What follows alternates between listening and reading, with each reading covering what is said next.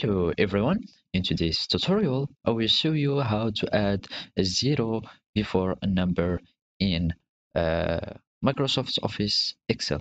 So first, open your spreadsheet on Excel and follow these simple steps.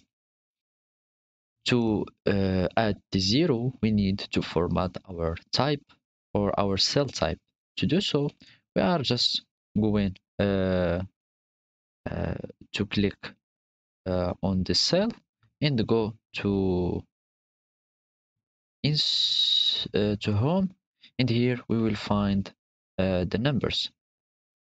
If uh, we click here on the expanding uh, icon we will find the format cell. So as you can see this is my format cell window. Or I can just right click on my cell and click format cell and I will have the same pop-up window.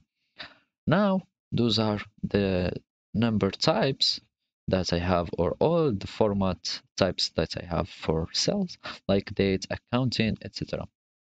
Now we need to add uh, a new uh, to add a new type of cells. Our type will be zero and an at uh, you should have something like that. We should we will have okay and as you can see now we need to change our format cell to what we did now. So we will have it like that. And click on ok. So we have to need to customize our custom uh, because it's still on general.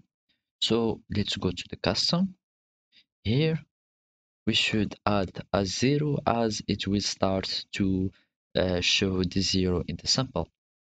This is basically means that whenever we have a four uh, means the number or yes it's the count of uh, the numbers on the cell so if our my numbers will be five uh, digits so I will add like this one for six digits. So whenever i'm going to add for example it's still uh, a zero remaining.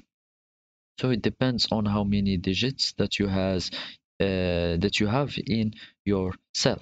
So if you have just uh, you are sure that you will have only three digits on uh, your cell just go for the four zeros. So because i have three digits and the remaining digit will become zero so and click ok.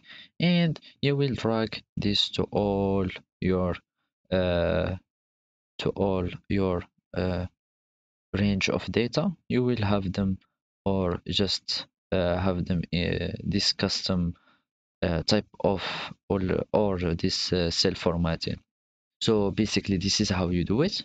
Thank you for watching and goodbye